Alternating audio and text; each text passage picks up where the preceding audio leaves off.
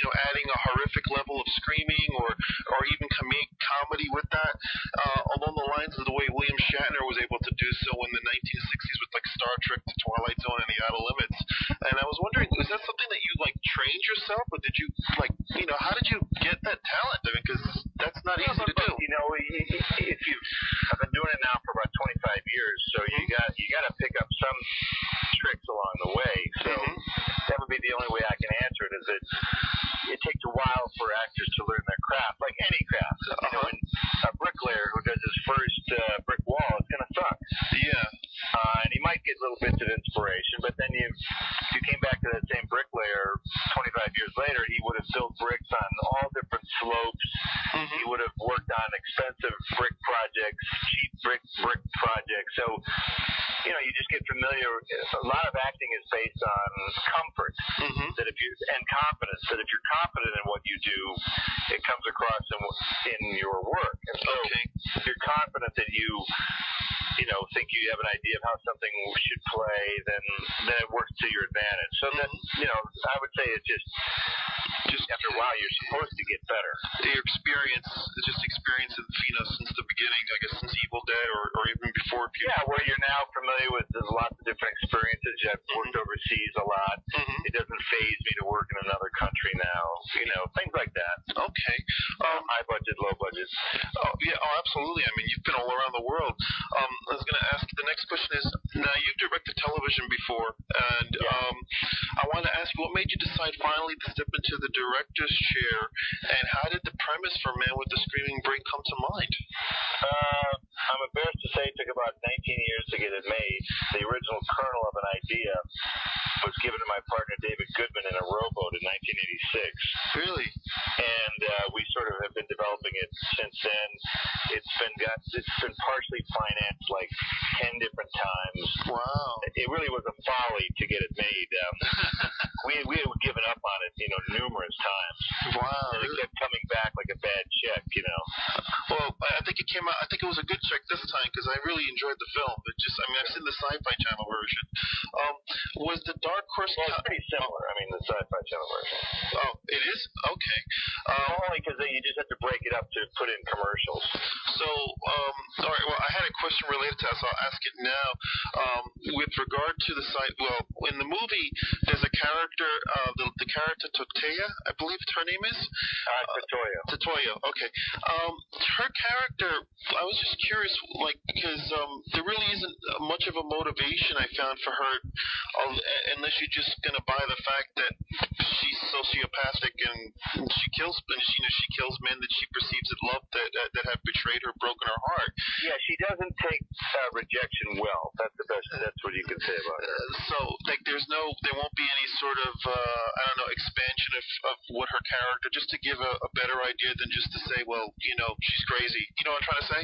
Uh, I understand. There's just so much you can do in 88 minutes. In 88 so we, minutes. You know, uh, we just went with her to the best that we could, but you know, Okay. I'm sure it's lacking in in many respects. Well, um, that- was the only thing that particularly came to mind. But uh, I was going to ask you that. Um, so, so basically, um, was the Dark Horse comic adaptation always going to be a part of the project as well? Uh, I'm not sure what you mean.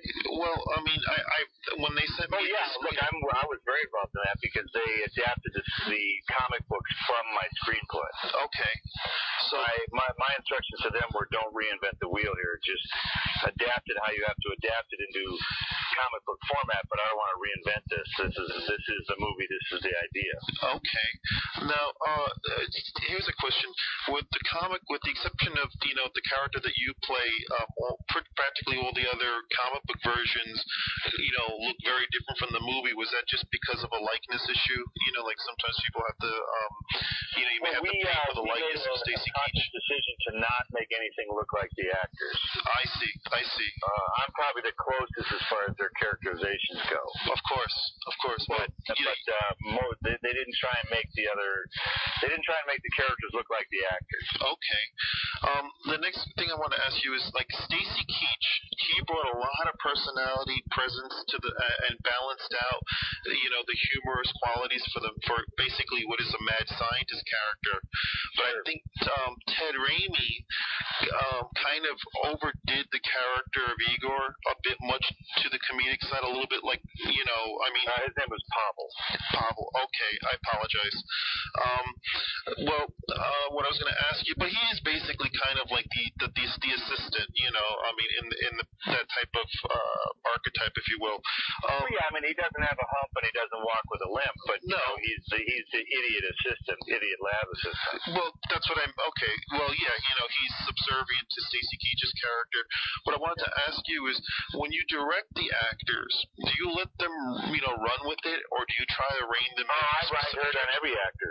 No one gets a free ride. But you know, I I happen to like what Ted does, so it's half my fault too.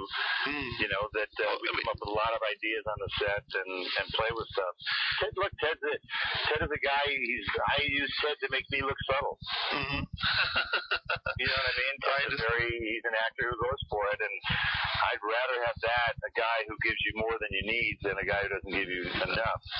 Well, I didn't think his performance was bad. I just felt like it was at times a little bit too much. But you know, he, he's I still. that, but uh, you know, I I watch, I base it on how it plays with an audience. I've seen it about 30 times across the country now Okay. special sneak previews, and you know They they, like it. Ted, Yeah. Ted gives you a lot of entertainment value per frame. Oh, absolutely. I mean, he's great. You know, whether he was on television as Joxer or even in the cameos he does on, in Spider-Man, and you know, and you know, he's as much of a a, recognizable character actor um, now as Ron Howard's brother. I'd say he has probably more. You know, I think he might get better roles than Ron Howard's brother does. But you know, he He's also better. He's also better. He's a better actor than Ron Howard's brother. Yeah, pro- mo- most definitely. Um, here's the thing. That, now, all right, this is something that interested me when I uh, I first saw the still publicity shots when they sent me the screener, and I have to admit I don't mean this in any disrespect. When I first saw the the photo, you know, the artwork with you wearing the makeup as you know with, with the split in the head, I thought to myself, it looks a bit like the Buntman characters that they used to play on In Living Color. And I, you know, but when I saw the movie in in motion, so to speak, the makeup looks great. Like I don't know how to describe it. In still photos, the makeup doesn't look so hot, but when you're watching the movie, it's kind of like when people first saw the X Men photos and they were kind of disappointed that they didn't look like the comic. But then when everybody saw the movie, they loved the costumes because it worked on film, but somehow they couldn't accept it until they saw it in motion. I kind of felt the same way.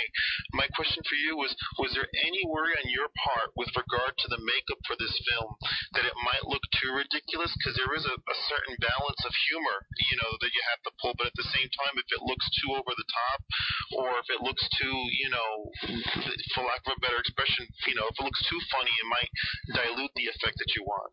I was wondering. Uh, I understand. You know, look, it's a Bulgarian photographer. You're going to get what you get.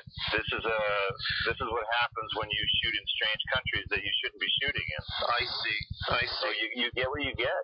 And uh, we hired a very qualified makeup woman, Melanie Tooker, who did Mhm. my makeup for Bubba Ho-Tep. Okay. So, so she knows what she's doing. And yeah, it looks fine on film. I thought. On film, it looks great. Yeah, and then stills, you know, who knows? It's just uh, stills perhaps show things in a more naked light. I don't know. With when the when the shutter is going on a motion picture camera, maybe it doesn't show you as much. I see. Um, well, I hope you didn't take that in any offensive way because I didn't mean it in that way. Well, you know, there's nothing I can do about it, so I don't take it any one way or the other. Okay. Um, I, in your last sci-fi film um, that I, you know, the sci-fi premiered, Alien Apocalypse. What struck me about that is it seemed a bit like a hodgepodge of ideas from, you know, other films like Army of, it's sort of You'll like. Ar- talk to the writer. I don't know what to tell you. I didn't know. okay, I'll I'll skip that then. Um, I was an actor for hire. Okay, no problem. I, you know, um, basically, uh, you um, okay?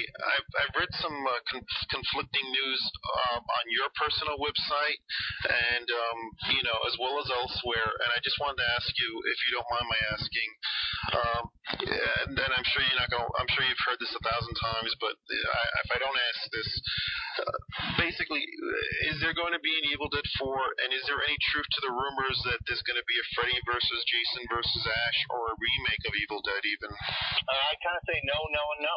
Okay, excellent. Uh, no, absolutely no on the Jason versus Freddy versus Ash. Okay. It's not on my website, so it's not. okay, That's what that's what I tell people. If it's not on my website, it doesn't exist. okay, Uh, the other rumors of a remake and a sequel, they may happen, but not while Sam is doing the Spider-Man series. I see. So that's something that may happen down the road, but um, there are absolutely no plans at the moment. okay. No start date. There's no script. There's no nothing. There's no nothing. Okay. How do you feel? How do you feel about the way, um, to quote to use a Hollywood word, re- Hollywood's been reimagining horror film classics like uh, Dawn of the Dead, Texas Chainsaw? So if you've had a chance to see any of them, Uh, I think uh, remakes and sequels are generally undesirable. Okay. Uh, this summer is particularly bad. I was going to ask you: Is there any film that this summer you saw that you liked? Uh, no, last film I saw that I liked was Napoleon Dynamite. Napoleon Dynamite. That was that was a good flick. Um, personally, my favorite from last year was uh, uh, Shaun of the Dead. I thought was a great, you know, was a great flick. But that's I just heard my that was pretty fun. Yeah, if you get a chance, definitely rent it. Um, here on television, you know, I know you appeared in Ellen, Xena, Hercules, The X Files, Brisco County, American Gothic, etc. Um, do you have a favorite character that you've portrayed on both the big or sport or, or small screen, and I why? can really answer that only by the time when I get to the old actors' home. All right. Because I'm not really done yet. But Uh, oh, of course. I enjoyed so far. playing um, an old Elvis in Bubba Ho-Tep. hmm Uh, I enjoyed playing the Ash character. I enjoyed playing uh, the King of Thieves in Hercules and Xena. Yeah, that was a great character. You know, so uh, and I enjoyed Brisco because it was the first chance I had to be sort of a role model hmm That was a great that that show character. That was a that was a very good show. I used to watch that. Uh, that was an excellent show uh, during its time. I wish they had given it a, a longer, you know, a longer uh, season. Well, Fox had to start paying their bills. They were expanding greatly right about the time of that show, and Brisco wasn't pulling in the big, big numbers, so Yeah. make some decisions. Well, at least it lives on it lives on on TNT and those channels right now. You know, the repeats are always there. Now you're touring with your new book, Make Make Lo- uh, Make Love the Bruce Campbell Way, which, Yeah. from what I understand, is fiction with you playing, or, or in this case, writing yourself into the story. Well, Yeah, it's sort of a it's a what if book. Yes. It's a mockumentary in book form Okay. where I play myself, and the the the hypothetical question is what would happen if you took a B movie actor, meaning me, Mhm. and put him into a big A A picture directed by Mike Nichols, produced you know by Paramount, opposite Renee Zellweger and Richard Gere. What would happen? And the Mhm. answer is that it's it's not a good idea. It's a misadventure. do you do you really feel that way, or you, Uh, no, not at all. Oh, okay. It's just a, it's just a story. Okay. Because I I, think you, I don't. I don't even want to be in A movies anyway, so it doesn't matter. Really? I mean, because I, I think that you could hold your. I mean, I, I think you could hold your own with these people. The, yeah, What is anybody. so attractive about being in an A movie? All the A movies are B movies now. That's If you dress up like a bat and fly around Gotham City, I got news for you. That's a B movie. that's true. That's true. Tom Cruise can jump up and down on Oprah's couch all he wants. Summer, he, he starred in a B movie. Yes. Aliens invade the Earth. That is no different than the movie you mentioned, Alien Alien Apocalypse. Apocalypse. That's true. Well, Has more zeros on the end of the budget.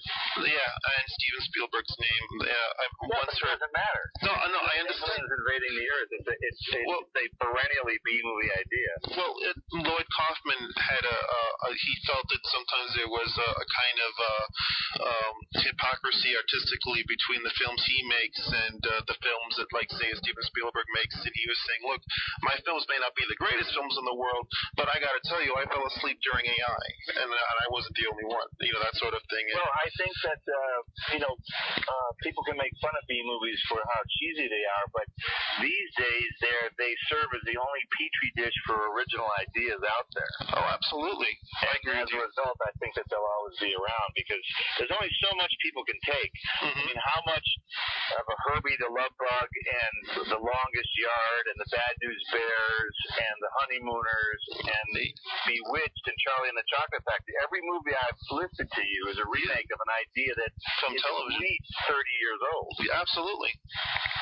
So the audience, you know, they're not that dumb. hmm And this, you know, Hollywood is down 10%, and they're blaming it on piracy. They should blame it on themselves. You're you're absolutely right about They got that. serious soul searching to do. They- Otherwise, they're going to lose their shirt. They're, they're sabotaging their, their own home video industry with DVD and the, the next format because they're so afraid of piracy. But I mean, look at the two biggest piracy issues to come out: the Hulk and uh, Star Wars Episode Three.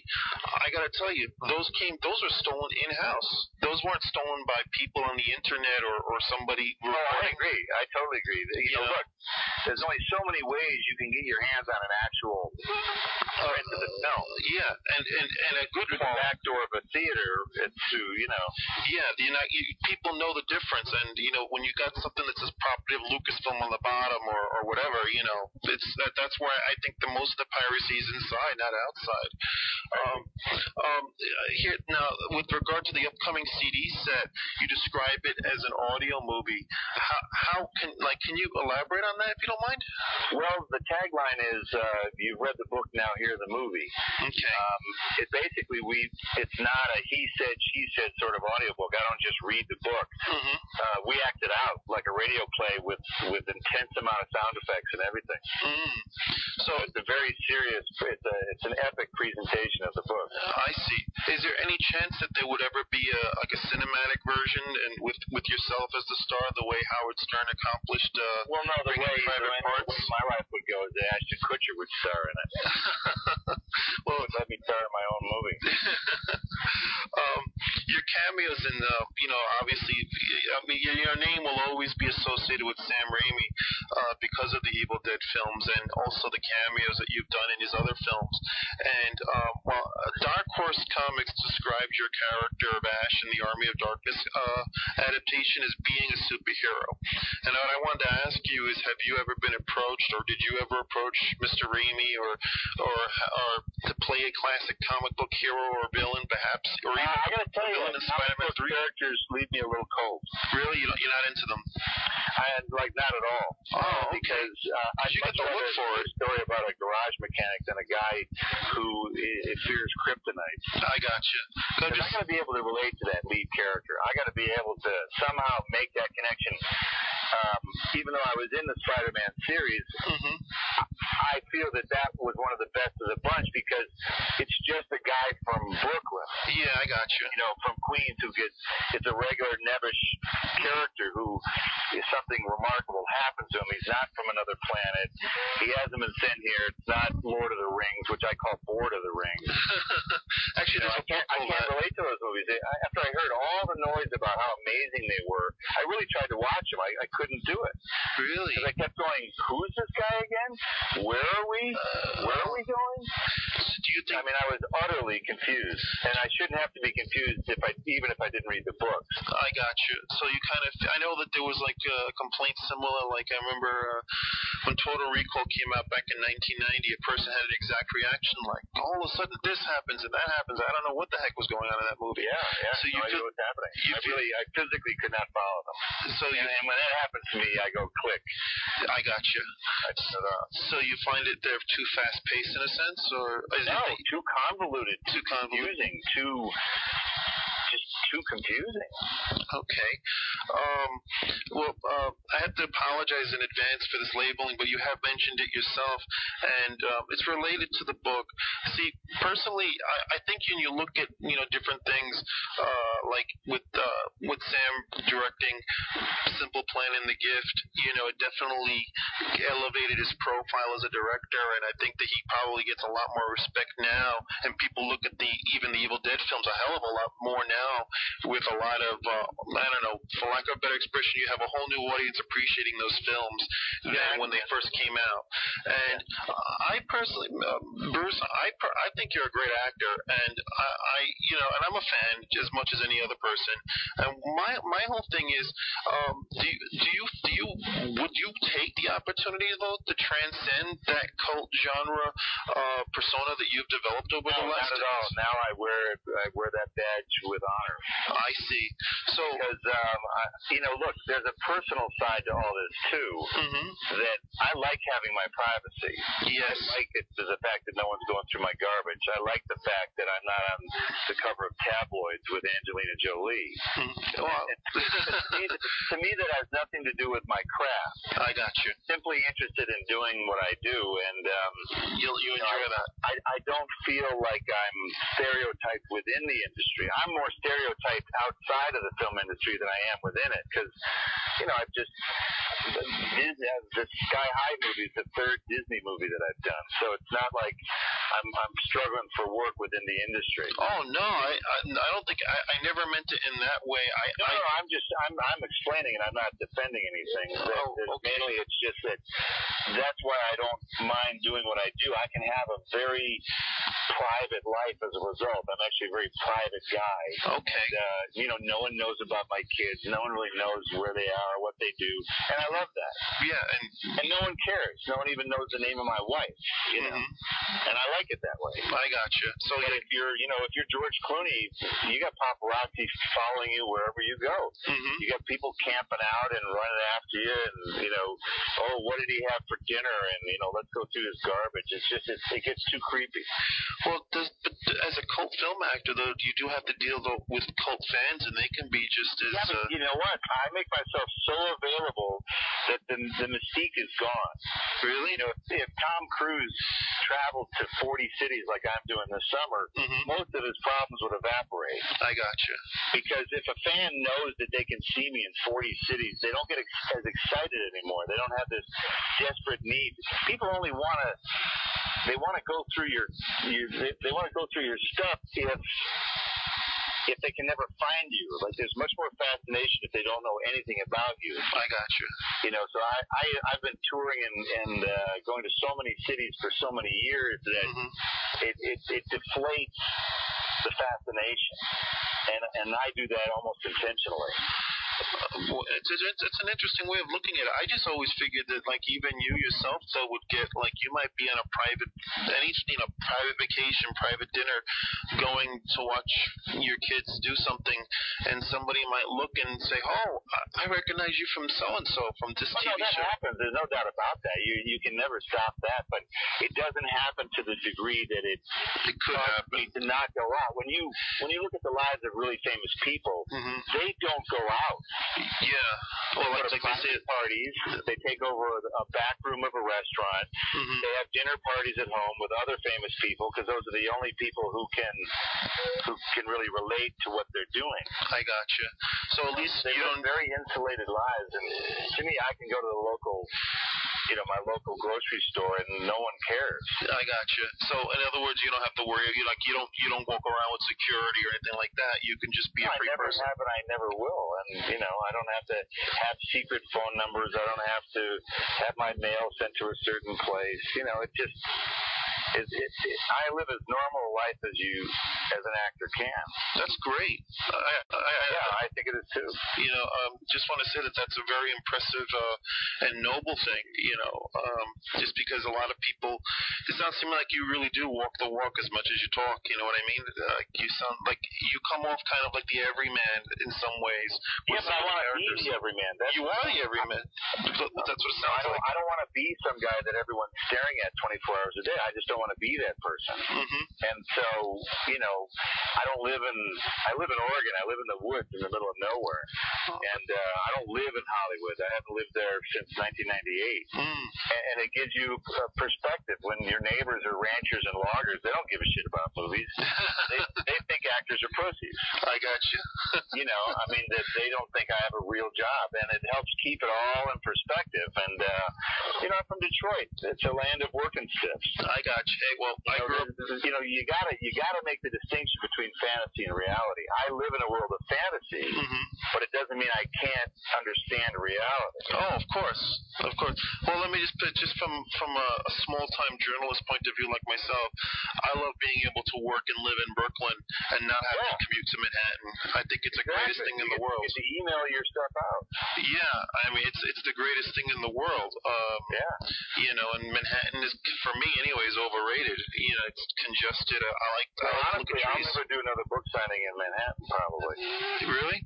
Yeah, because in big cities, they could care less whether you live or die. Yet I can go to Albuquerque, New Mexico, and every other person in line says, "Oh my God, thanks for coming to Albuquerque." I gotcha.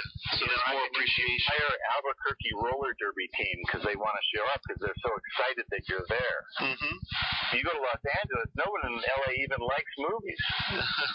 well, and, and ironic that it's like a factory town in that respect. Because I've been there, I found the two culture shock. I, I you know, I got Yeah. culture shock going there. Um, well, you know, outside of Man with the Screaming Brain and Make Love the Bruce Campbell Way, I was wondering, are there any films or TV projects that, as fans, that we can expect to see you in soon?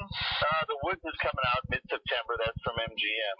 Okay. Uh, I have a supporting role in that. I get All to right. play the father now in horror films, which is great. Oh. You know, as you age, you get to play other stuff. Mhm. Um, Well, you look. I mean, I don't know what your age is, and that's your business. But I just want to say you look good. I mean, even in like, uh, you, you know, you were like, I guess, uh, in your twenties or so, perhaps, when you, or maybe even younger when you did the first Evil Dead film. But when you did, 21, I think, is for Evil Dead. okay, so like, um, but in Army of Darkness, you were ripped. I mean, you know, you looked, you looked, you know, you looked great, and and uh, you still look good. You know, God bless your genes. Uh, um, that that makes any sense. You know, uh, it's good genetics. That's what I, I'm trying to say. Um, so you know, that's a good deal. So you so like as you go, you you may feel like you're growing older, but you could still you know play. You know, I, I, I you can get Yeah, away I'm with. it. realistic too. You know, I don't need to play some character that's younger than me just to serve my own ego. I, I'm actually happy as an as an artist and as an actor. You want to play different stuff, so I'm Mhm. Happy to age and and get into other stuff. Uh, you know, I I've always felt that I was a character actor trapped in a leading man's body. hmm So uh, now I can finally fulfill that desire to just be a character actor, really. to be a character. Is there any character actor um, that you kind of, when you look back, uh, that you? I mean, I know that uh, pretty much like in in the films you do with Sam Raimi, they always you, you have references to the Three Stooges, um, and so I'm assuming that you, as well as the other people, kind of enjoyed those when you, those shorts when you were growing up and stuff. I was just wondering, is there any character actors, you know, of the past that you, when you were growing Oh up? Oh yeah, my favorite guys are all dead. Uh, the guy Jack Carson is a Mhm. terrific character actor. Jack Carson. Yep, you'd have to if you saw his face, you'd know him, but you have no idea who he is. Yeah, you got me. Character actors, that, you know, they work all the time, but you never know who they are. Yeah, oh, that's true. That's true. You you know, but you know them by face. That's that's amazing. So, um, you, you answered all my questions, uh, Bruce. I really appreciate that. Um, on your way, appreciate the opportunity you've given me here. You're the, you're probably one of the uh, biggest people I've had the opportunity to interview because I'm a one man show. I do. Hey, I'm a one man band myself. I really am. I don't have an entourage. I don't have any of that crap. So, you know, it's, it's, here's to the one man band. Exactly. I mean, I'm the only I'm the only website guy I know that actually does all the writing, the website design, the editing, and and and and and, and whatnot myself. And people think I'm crazy, but I I just like doing it that way. You know, it's not a control freak thing. It's just something I enjoy. You know. Yeah, exactly. You know.